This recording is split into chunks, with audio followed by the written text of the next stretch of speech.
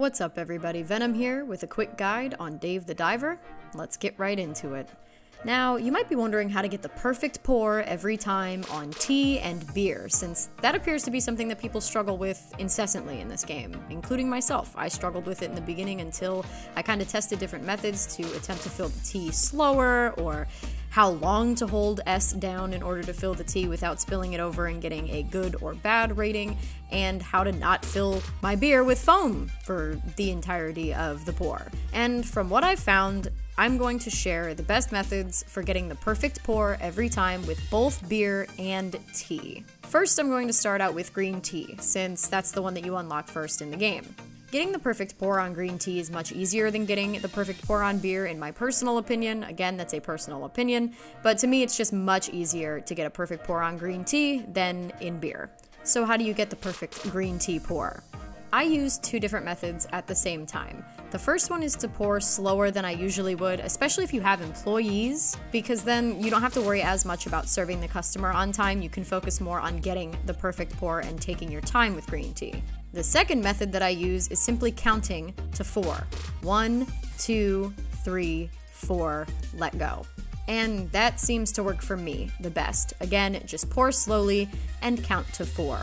That is what I do, and I get a perfect pour almost every single time, if, as long as I'm paying attention, obviously. If I'm focused on so many other things inside of the restaurant and I pour too quickly, I will get a good or a bad score because I don't take my time and I overfill it most of the time.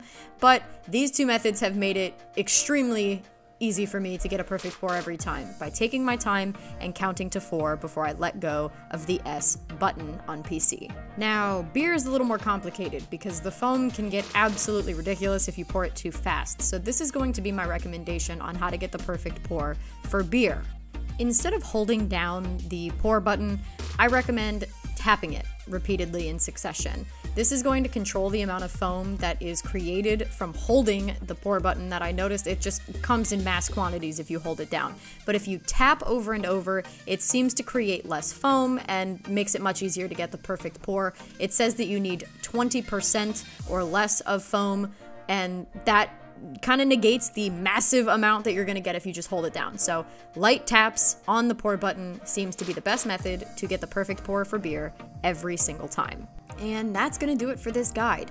I know that it wasn't super thorough like some of my other videos, but I just don't think this needs a very thorough, in-depth explanation as it's pretty easy to explain the tips without needing a bunch of filler and buffer words to make it make sense. I think that I at least got my point across as to how to get the perfect pour for both of the beverages in Dave the Diver.